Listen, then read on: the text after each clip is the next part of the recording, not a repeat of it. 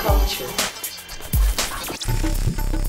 Welcome to a new episode of Technoculture.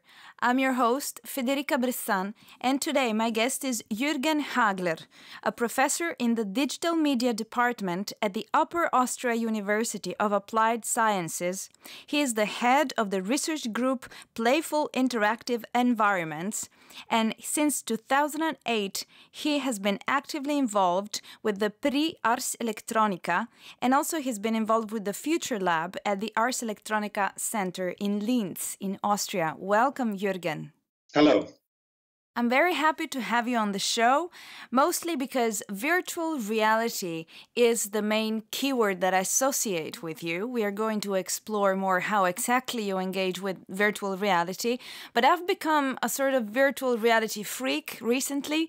Wherever I go, if I see a public setup, I try to use it, I like to experience it, and this is also how we met. I was traveling uh, through Austria a few months ago in 2018 and I was visiting a museum where I saw at some point a virtual reality installation and I started queuing there. Of course, children were mostly queuing there, but I was like, who am I not to want to try this? So I queued there, and finally, then it was my turn, and I learned more about it. I was even more intrigued when I found out that you were not just um, attending the setup, um, but you were actually a researcher, and that was part of a scientific study. So, if you will, please, can you say what museum that was? Because I could just never pronounce that correctly in, in German. It is, uh, the Kunsthistorisches Museum, art museum in Vienna. So this is a very famous uh, museum with a lot of uh, old paintings from the Renaissance, etc. So at this museum, I not only found out that you were a researcher doing a scientific study, but that you were not an engineer, which for some reason I just took for granted. I say he must be one of the people who develops virtual reality. But I actually found out that you have a different type of background. So, to begin with, would you like to tell us a little bit of what your expertise is, what your interests are? Yeah, so um, I actually started in the 90s at the Ars Electronica Research Lab, Future Lab, as a as a 3D artist, and I, I, I actually had the the great honor to work with uh, people on artistic projects for the so-called cave installation. So the Ars Electronica Center was uh, the first museum that offers uh, a cave installation, virtual reality installation in the 90s. And that was actually my start in, in VR. And uh, since a couple of years, I'm head of a research group that is called Collocated uh, uh, Playful Interactive Environments, and we are very interested in collocated interactions.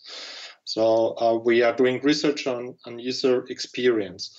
And th- this project that you have uh, mentioned uh, at the Art Museum in Vienna is one of our recent examples where we uh, tried to find out um, new findings in the field of user experience in VR with a focus on collocated interactions. So uh, this this installation called the Virtual House of Medusa is a virtual archaeology installation. So this is the topic. Uh, uh, the the Federal Institute of uh, Restoration asked us to to support them with uh, the very it, it is an, a very interesting archaeological finding. They um, reserved it over a couple of years, and they had uh, the exhibition at the art museum in Vienna, and they asked us to to think about new possibilities for presenting it in a museum. And then we said, okay, uh, we we are interesting interested in in VR. And we are taking this content, so these are actually Roman fragments found in, uh, in a Roman villa 300 uh, uh, after uh, Christ's death uh, in, in a, a local um, uh, city to, to Linz, close to Linz. And we, we got all this data from the archaeologists, and we decided to create um, a playful um, VR installation with with the focus of integrating the the spectators at the museum. So we face we are facing the problem that there are a lot of VR installations at, at museums nowadays. Um, mainly head-mounted display VR installations because they are cheap. They don't do not need a lot of additional equipment, uh, not really a lot of space. And so you, you can find these head-mounted uh, displays in a lot of different public places actually the last years.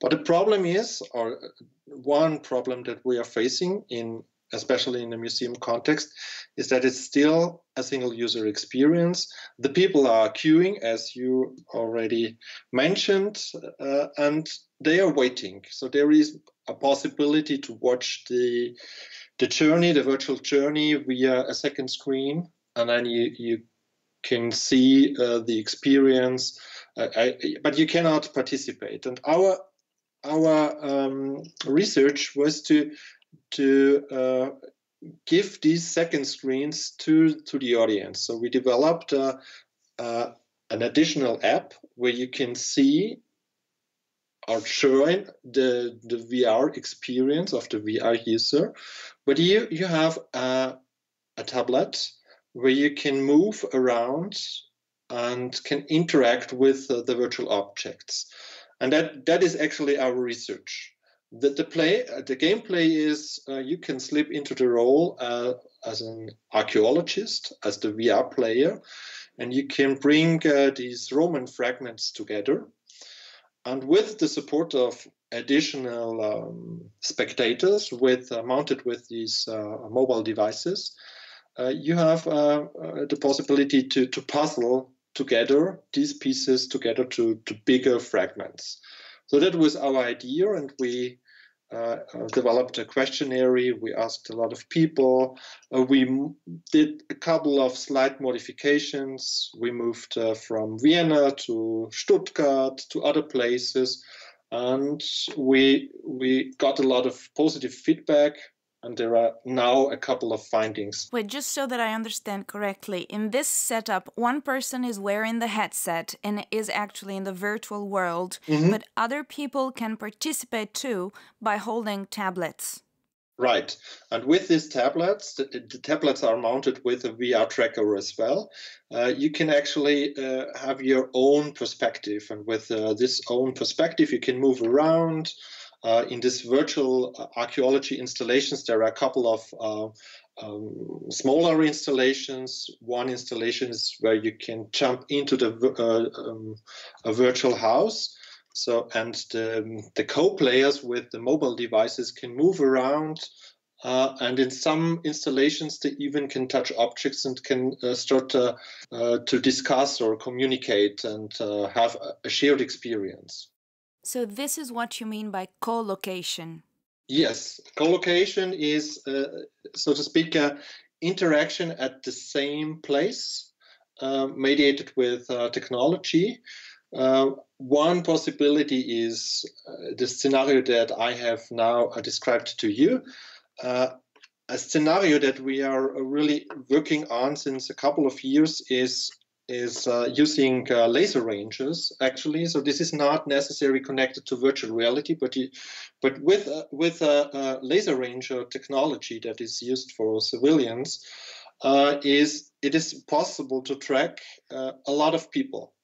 And with this information that you have these 2D uh, tracking points, uh, you can start to think about uh, um, game mechanics, interaction mechanics for a lot of people. So in, in this virtual house of Medusa with VR, we had one VR player and up to four co-players. But with the with the laser ranger technology, you can track uh, um, spaces up to uh, 200 square meters, and you can track uh, 30 people or even more. We have a setting at uh, the Ars Electronica Center that is called Deep Space. It is, uh, um, I would say, 16 to 9 meters. It's a bottom and a front projection, so it's really a big space. And there is uh, a lot of space behind for the audience, so up to 200 and, and more people can can participate in this deep space. And we are using this, these uh, uh, laser ranges for uh, various interaction methods to collaborate on stage on, on the same physical space. So this is this is our main research uh, activity at the research group Playful Interactive Environments. How important is playfulness in your approach to user studies? I mean, it's even in the name of your research group, Playful Interactive Environments. In the setup I have seen uh, the museum in Vienna, it could have been just the thing to wear the headset and experience being in the room and walk through it. But you added that element of playfulness to it with the games and putting the tiles together. So, how important is it that playfulness is part of the experience? Yeah, playfulness. Uh, yes, it is very important for, for our research. Uh, it is, uh, of course, there are different levels of, of playfulness. So even uh, an art installation without a goal and without game mechanics is playful. So it it can be playful. Uh, so this is in, in our research it, it's very broad and uh, if, if we think about uh, um, computer games in research um, yeah, it is always uh, serious games, bringing uh, uh, a couple of uh, aspects like how can we use uh, computer technology uh, to to to learn or to um, use that in in in medicine applications, for example. But this is playfulness is very very broad. Uh, even persuasive uh, playfulness if you want to uh, yeah come up with a, a special topic uh, there can be playful mechanisms uh, that can support your um, your attention actually. So in, in our research for, for the research group playful interactive environments we are very interested in these um, interaction methods. So we are not experts, for example, in, in virtual archaeology. Of course, we faced a, a lot of problems uh, concerning uh, the sensibility of data that is giving, given from the scientists to the public. So there is is really a big a big problem. Uh, but this, this is not the main focus. We are always thinking about how can we foster these interactions, how can we foster uh, the experiences, uh, how can we um, yeah foster uh, the experiences for for special target groups, for example. When I tried a VR experience in Vienna, I was alone in the virtual world. There were no other users, but at some point you said, turn to your right. And I did, and I saw a sort of flying puppet, and you were talking to me, and that was matching the puppet. So you actually appeared in the world, not as a regular user, but more like a guide or a support to me being in the virtual world, telling me what to do or pointing at things. Is this still co-location or it's something different because you were like a, a special agent? Yeah, yeah, yeah, yeah. This is this is um, um, uh, very interesting because uh, uh, co-location, the same place, and even uh, telepresence. Uh, this term uh, uh, since uh, the mid 90s or early 90s. Uh, since since the, since that time, um, especially cave applications, uh, as far as I know, um, visual representation of, of, of the body, even of a kind of avatars, are very important. Uh, and what we did is bringing it uh, in the sense of, of co-location as well. So uh, we uh, provided a visual representation in, in this installation, uh, but uh, you felt that I am I'm actually here because I was talking to you. So the audio that you uh, perceived was actually my audio co- co-located on stage, but it was supported with a, a visual representation. So in an expanded sense, it is a mixed reality setting combining uh, virtual objects as well as uh, real objects. And we did a, a former installation at the Vienna Design Week a year before, where we also used um, this virtual representation.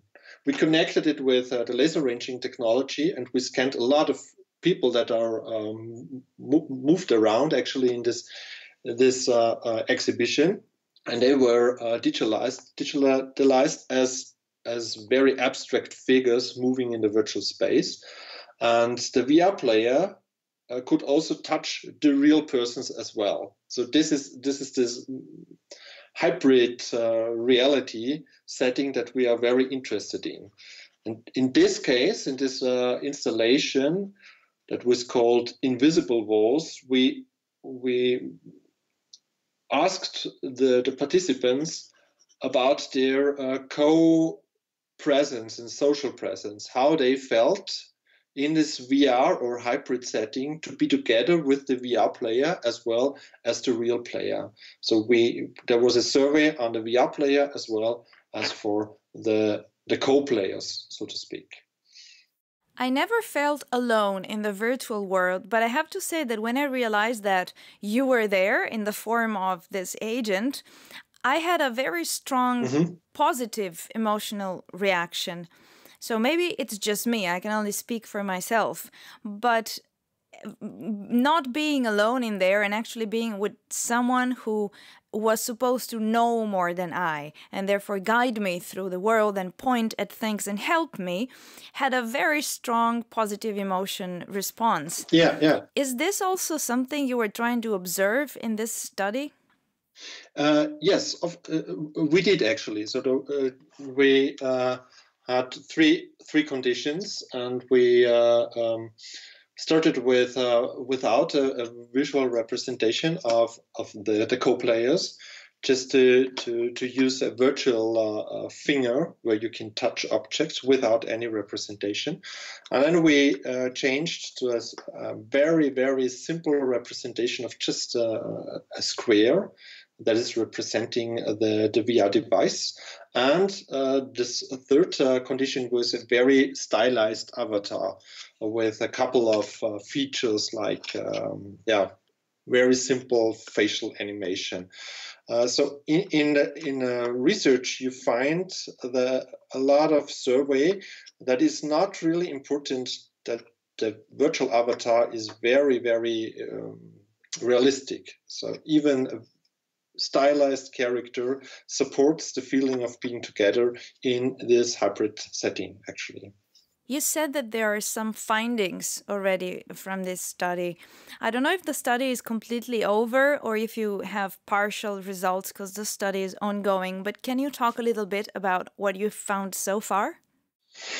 It's it's still uh, ongoing, and uh, uh, we are still um, um doing questionnaires, uh, but this is the final round. So we have in October two two uh, exhibitions, the last exhibitions, and then it's over. So we started in uh, January this year, and we had a, a lot of different uh, uh, settings.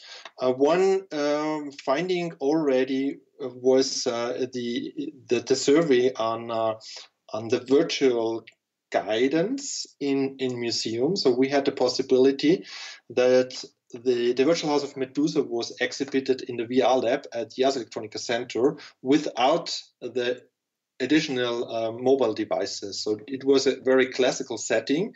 Uh, the VR lab is, a selection of different uh, VR um, devices with different installations, and it is the VR setup, and there is um, uh, a second screen for for the audience. And there are, this is very special at the Ars Electronica Center, there are so-called info trainers, and these are the museum guides that help uh, uh, visitors uh, in yeah in different uh, installations. So they introduce the VR setting, and they are starting to talk to to the VR player. And uh, in, diff- in, in other settings, we we have um, um, done it uh, in a different way with our uh, additional devices. And one finding was that this kind of uh, uh virtual guidance uh, is, of course, has a positive effect, even for a bigger group. So if you come to a museum, you're always facing that there are a couple of people, and sometimes uh, it's a big group that has to to um, be introduced to an installation in a very short time, and therefore it, it is quite a good tool uh, to to introduce a VR setting to a lot of people. Do you differentiate among different target groups? For example, children, because children were queuing in front of me there. Did they take the same questionnaire I did? And do you expect them actually to have the same uh, experience than I? I mean, comparable, I should say. Or do you distinguish between maybe not just children and adults, but also elderly people, experienced people with this kind of technology, etc.? Uh, yeah, uh, we actually uh, kicked uh, the the questionnaires for uh, kids. Uh, in this case, for, for the virtual house of Medusa, out of of the survey because it was too difficult. Uh, so uh, we started with uh, I think 19 or 20 years and and older. So this was in the first test we we included the younger generation as well, but then it was too complicated because the kids, kids were so fascinated by using the VR devices, and uh, it was uh, it was not.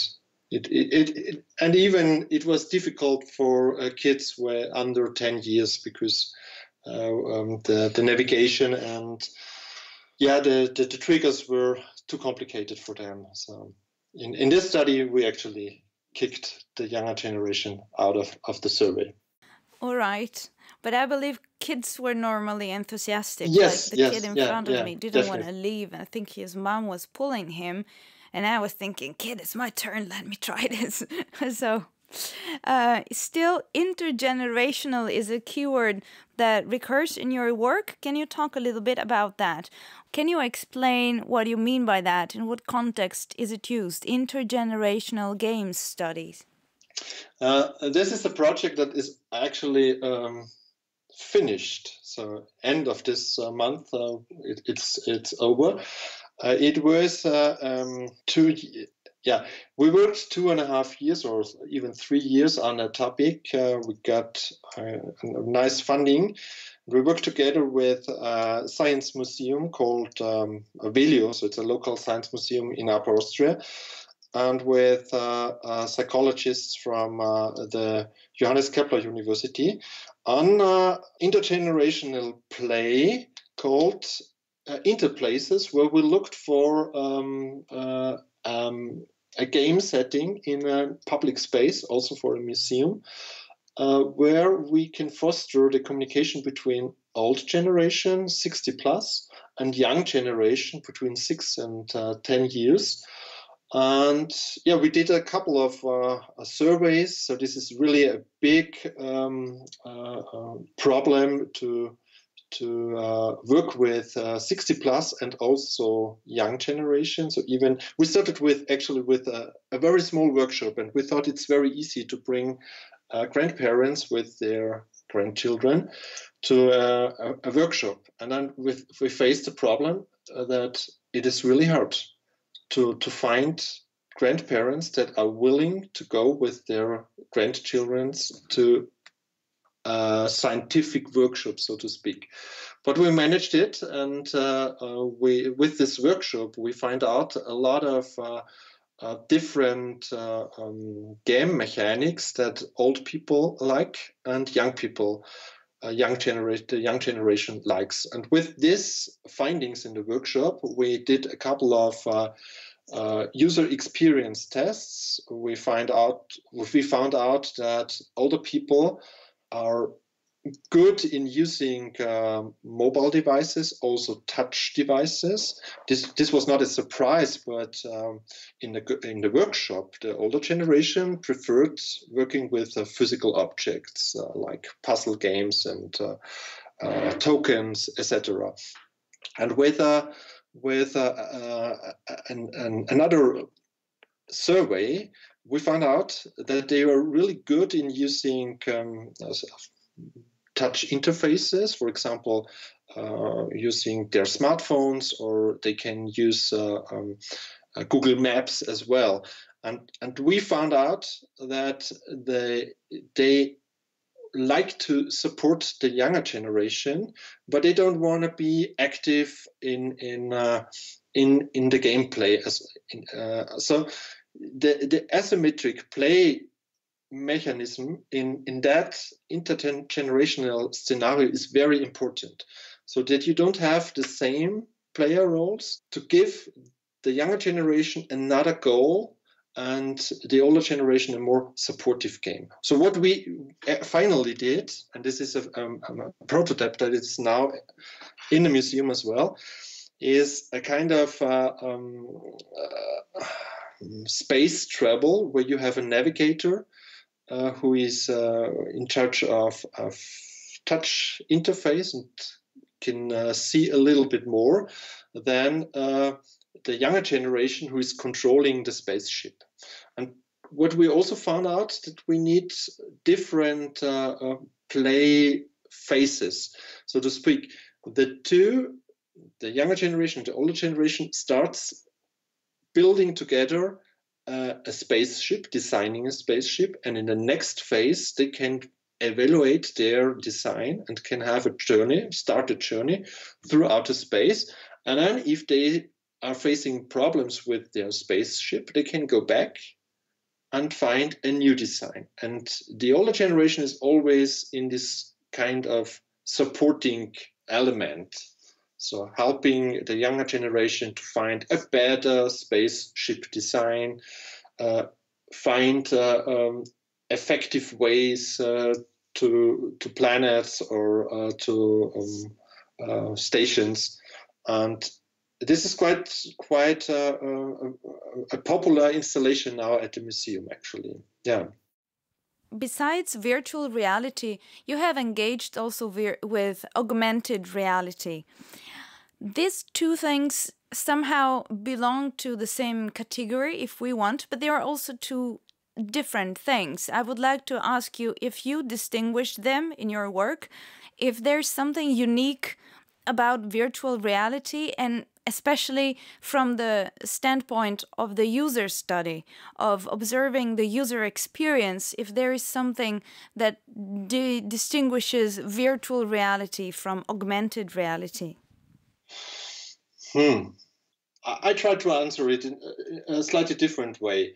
So, for me, as a, as a curator as, uh, at Ars Electronica, it is uh, how how, how um, does the difference between uh, a computer animation, 360 degree um, VR installation or interactive installation, uh, what, what is actually the difference? Uh, for example, um, this year we featured a VR piece actually in, in the exhibition uh, just as a screening.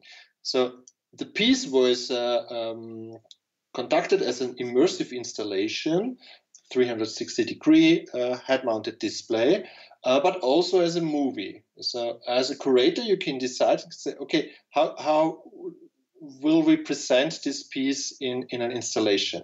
And there, of course, is a difference if you have a screen uh, or you have a 360 degree uh, immersiveness, uh, and it's depending on, on the project, I, I would say. So in this case, I it was not really a difference.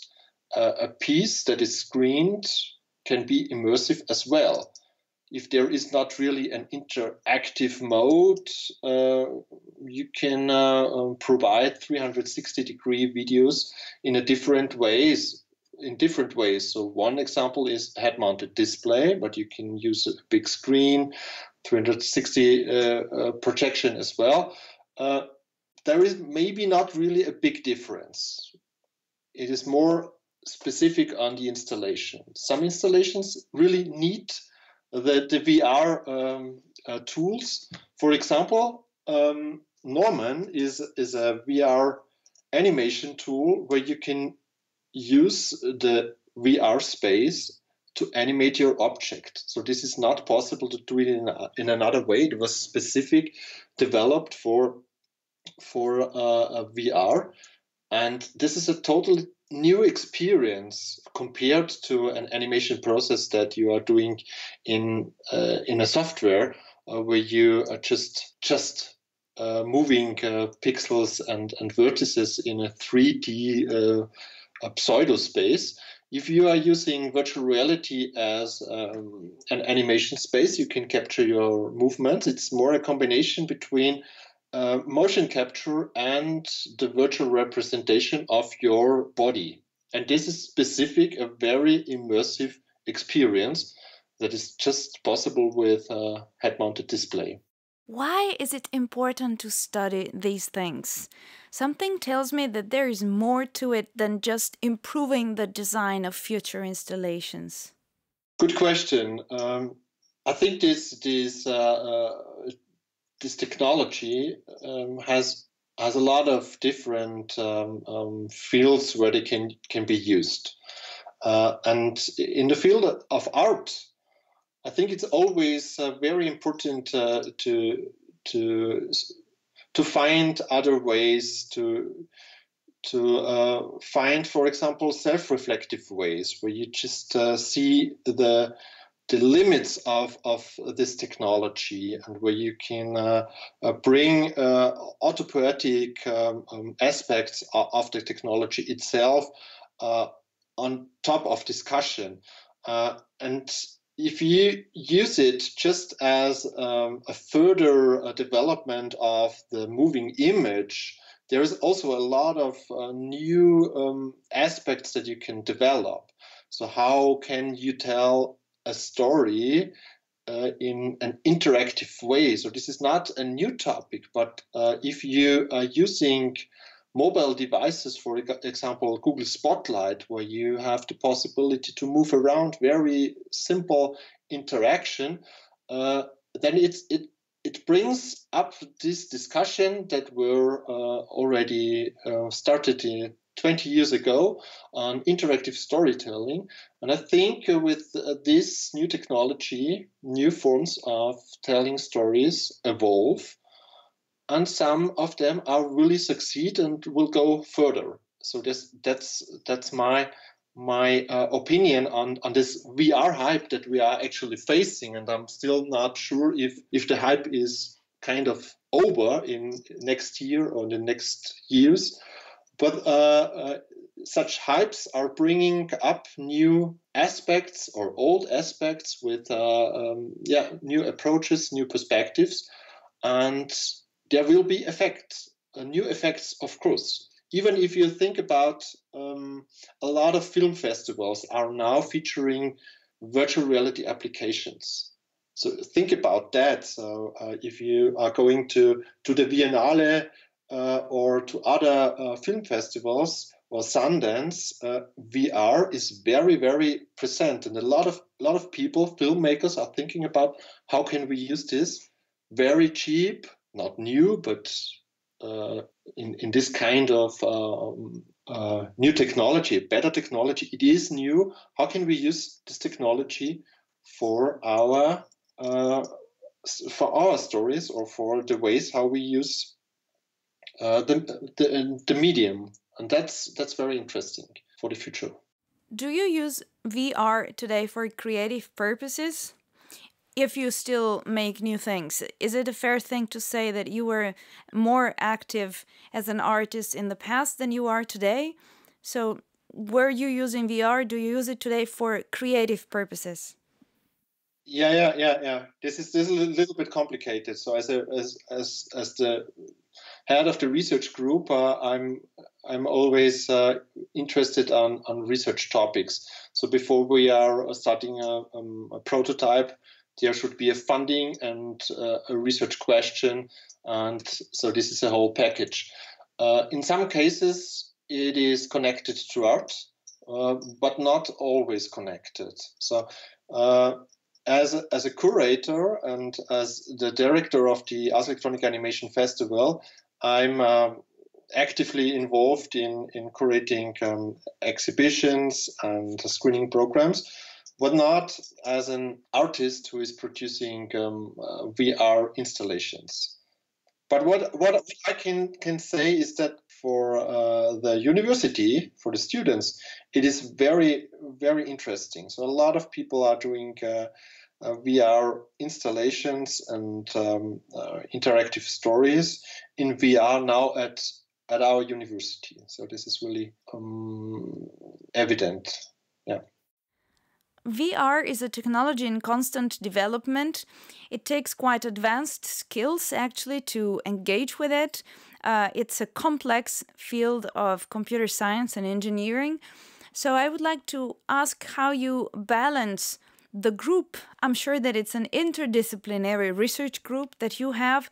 So yourself, with your background, how do you communicate how do you you know what's your relation with the tech people who actually develop the systems that also you will use for your studies as you mentioned it is a very interdisciplinary approach a lot of uh, people are working uh, together you need uh, um, someone from the outside and also from the the coding part who is uh, in in charge of uh, doing a lot of uh, programming if you are developing something totally new. So uh, for our students, it's very very simple. So there are tools available where you can animate and create your VR environment, and where you can go to uh, a VR setting. So the tools are available compared to the 90s, where I actually was an artist and worked as a as a developer, it was very, very uh, limited to, to people because uh, no VR settings and hardware was available. I was very lucky to work at Ars Electronica for, for the cave installation, and we also worked there very interdisciplinary. Uh, so there was uh, just one machine where we uh, uh, could test our VR experience. And with these experiences, we further developed uh, new artistic applications. I worked together with uh, artists uh, doing uh, art pieces in in in the cave setting. So I was actually very impressed by Worldskin. That was um, this is a very pioneering work in in the 90s, uh, and this this was an installation actually with uh, a lot of new approaches in VR, even compared it to to uh, the, the, things that we are doing now. Uh, and this was very impressive for me to think about new ways in, in the 90s. Uh, but it, it, was always for me as a 3D artist a limit. So we needed uh, people uh, in, in this field of VR technology as well. And in our research group, we, we are lucky to have both people from the outside, also from the tech side. You started engaging with VR in the 90s. There are some who say that it was a thing in the 90s but then disappeared, VR, and now it's back and it's the next big thing and it's everywhere, increasingly everywhere. I would like to ask you uh, if you can tell us a little bit about how you have seen this technology evolve, and if you can confirm that it kind of went away for a while, but now it's booming again. It is. It is uh, booming, uh, but as I already mentioned, I'm not sure if it will still be a hype next year or in two or three years. The, the cool thing is that the, the devices are very cheap and a lot of devices are available and they are still in production. So uh, start started with Oculus, but now we have a lot of different uh, devices. And in addition, with our mobile device, we have uh, the technology in, in our pocket. So we can use uh, uh, Google Cardboard and and watch uh, VR experience. It's really available. The technology, it's cheap. So with uh, 300 euros, you can buy um, a VR device or 600 euros, and you have a very good device. And the tools are available for that. Uh, I've seen um, kids at the age of uh, 16 uh, doing uh, VR stuff. So it is very, very simple to access, to create content, and to share it as well. there is a lot of uh, things are going on on using the internet vr uh, on the internet to share it. And therefore i would say there is of course a big future. But i'm not sure about the content.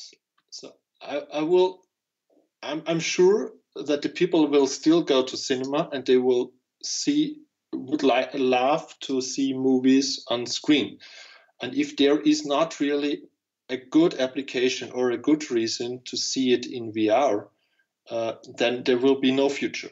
So the first step is, of course, for the people to see, okay, it's it's cool. I do it the first time. It's a great experience. But the next step is you need a good reason for VR to use it as a tool, as uh, something where you just screen a content or where you can uh, use it uh, as as a as a tool for collaboration or whatever.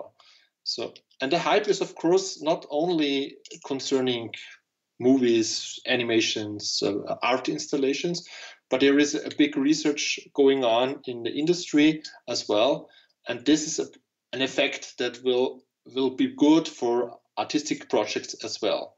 But as I have mentioned, said before, for art, it is always a very big uh, challenge to to think about the technology as well and to, to bring new effects of the technology itself.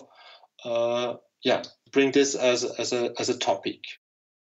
I don't know if you have a vision for VR in the future. In case you do, can you tell us a little bit about it? Like, will the sense of smell be the next thing to be integrated? Is that the direction we go? And what kind of applications we might expect outside of uh, museums, education, gaming? Hmm, good question. I, am not sure about uh, uh, additional um, sensoric uh, elements. Uh, if you look back in the history of VR, smell was, of course, a, a topic. Uh, the future, what I think is is quite interesting, is this hybridity between real and virtual. So what we are seeing now is a, a lot of uh, uh, additional devices in augmented reality, and I think this will be really um, game changer can be a, a game changer to have these uh, possibilities to blend the virtual world in, in your real environment. This can be uh, supportive in a lot of different situation uh, situations, but this is also um, an expansion of, of, of your of your being actually. And this this uh, this I think will be the hot um, the hot stuff in, in VR in the next years. You have been involved since 2008 uh, in the Prix Ars Electronica. There are different panels in it. Which one is yours? Uh, I am the curator for the Ars Electronica Animation Festival since 2008, and therefore I'm uh, uh, actively involved in, in the pre pre um, category computer animation. So uh, my part is actually now um, curating the program, but also thinking about the Ars Electronica Animation Festival. And this category has a big history, and this is quite interesting in um, the in the context of Ars Electronica. So the category computer animation started uh, together with uh, two other categories, uh, namely uh, computer music and computer graphics, in 1987, so very long time ago. So these three categories roots to classical art forms. So painting, computer graphics, film, computer animation, music, digital music. And over the years, the categories in in in um, the Prix Ars Electronica for um, new media evolved. So there was always a debate. Jeffrey Shaw, a lot of pioneers uh, discussed what is uh, media art. And in the 90s, a new category evolved called interactive art. So in the 90s, I would say there was the borders between the categories, they were quite clear. But then uh, World Wide Web as a category started. Digital communities uh, was the next uh, category after World Wide Web. Hybrid uh, um, art was uh, founded as a new category in 2005 or like this. So a lot of different categories in the field of, of digital art or media art evolved. And now, in the last 10 years, since I'm involved in the category computer animation, we face the problem that the, the borders are blurring. And a lot of, for example, VR installations. The artists do not know where they should submit. Is it is it more interactive? Then I would say it's interactive art. But if it's just a 3D 360 degree um, video, it is still interactive, but then maybe it fits more in the category computer animation. What we thought about is uh, is a new title of, of the category computer animation with this term expanded digital animation. What means that we are very interested in these fringe areas in these intersections between interactivity or uh, going out of the black box of the cinema so uh, with new devices with new possibilities to screen um, moving images etc and this is a topic that we are now focusing uh, in the last six years with a symposium, also with an exhibition, and connected to the category computer animation, where it is, when you just look at the category computer animation, compared to, to the 80s, where it was quite clear computer animation is a movie that was produced with the computer. But now everything is done digitally the borders between analog and digital digital uh, images are totally blurred. Uh, so you have a, a, a, really a problem to define this category, and this is not a problem for me, but it is more to think about the very special fringes of computer animation, and this is for Ars Electronica very interesting to say. Okay, we are a media festival and we are not a film festival, we are not an animation festival. What artists we want to feature, which direction do we want to go?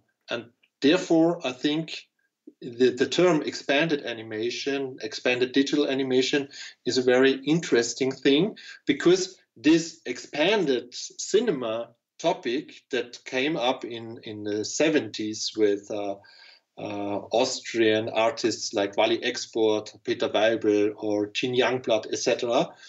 Uh, this this was connected to Ars Electronica in the 80s when they started with computer animation, and we brought this idea of thinking out of the box, expanded uh, forms in computer animation. We are, are thinking about bringing this idea with the focus of on art back to, to the category computer animation. Yeah, and therefore, VR experiences are very, very interesting for us. And we are very lucky that we have uh, a lot of VR installations uh, in, in the final selection in the last years. It's interesting because I think you just said something that resonates with something that I've often heard, and that is that artists are always ahead, which sounds like just this grandiose statement. But there's some truth in it, I believe, especially with artists that experiment with the new technologies. I use this concept in my own research. It's just an assumption. You say, why is it interesting to observe artists engage with technologies? Because they do push the boundaries, they explore the wide range of what is possible. Sometimes that works, sometimes it doesn't, but we all learn from it. And it's not all about making pretty things, sometimes it's about raising a critical aspect of these technologies and their impact on society at large, on all of us. And some some of the uses that they find with these technologies will become our own tomorrow. So this is a bit of a more complex concept than I have laid laid out just now. But um, I think that what you just said resonates with this idea, uh, which I share. Listen, if someone wants to read some of your scientific work or just watch some videos of the installations that we mentioned during this conversation, is there some material online that we can refer our listeners to and that we can link in the description of this episode? Of course. Uh, um, to point out, uh, of course, uh, the Ars Electronica website, uh, it is um, great that there is a big archive as well. So you have the, the possibility to to see the, the huge history of uh, Prix Ars Electronica. You can see uh, the the prize winners in the category computer animation uh, since 1987. Uh, you have access to a big database uh, connected to women in media arts, where you can uh, search the big archive of Prix Ars Electronica uh, with the focus of uh, female um, contributors, uh, artists, uh, researchers. Also, a big archive with all these publications.